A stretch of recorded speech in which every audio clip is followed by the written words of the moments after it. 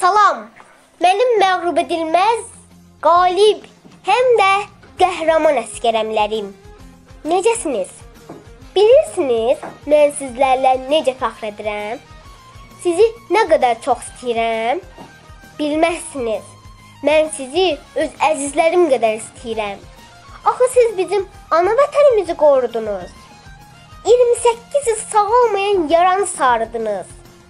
Vətənimizin tarixinə ən şanlı qələbəni yazdınız.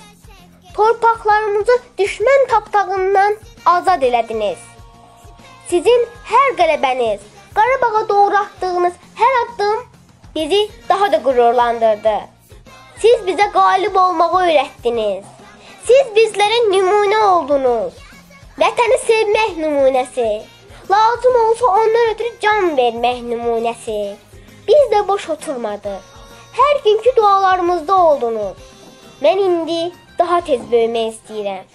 Sizin yazdığınız tarixi daha tez, daha dərindən öyrənmək üçün. İstəyirəm vaxt tez keçsin.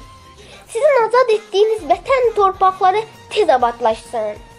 Böyüklərin dilindən, dərslərimizdə öyrəndiyimiz mövzulardan, gördüyüm şəkillərdən, təsəvvürümdə canlandırdığım o gözəl yerlərə getmək üçün tələsirəm. Bizim bu arzularımızın gerçəkləşməsi üçün sizlər nələr etmədiniz? Nələr? Öz qanınızla, canınızla düşməndən vətənimizi təmizlədiniz. Bunun heç bir əvəz ola bilməz.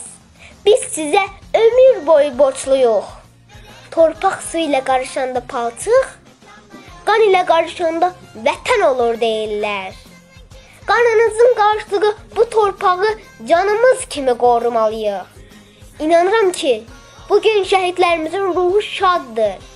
Şəhid ataları daha məğrur, şəhid anaları daha qürurludur. Axı qisasımız alınıb. Biz daha məktəbdə tez-tez qələbə bayramları keçirəcəyik. Mənim ən gözəl tədbirlərim 8 noyabr Şuşanın işğaldan azad olunduğu gün, 10 noyabr qələbə günü tarixlərində olacaq. Mən həmin tədbirlərdə qələbə şeirləri danışacağam.